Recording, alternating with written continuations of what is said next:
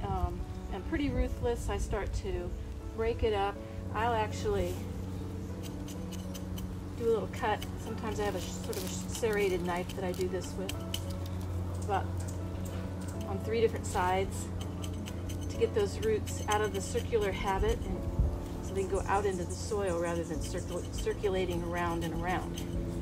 Break up, breaking up the bottom and a little bit off the shoulder here.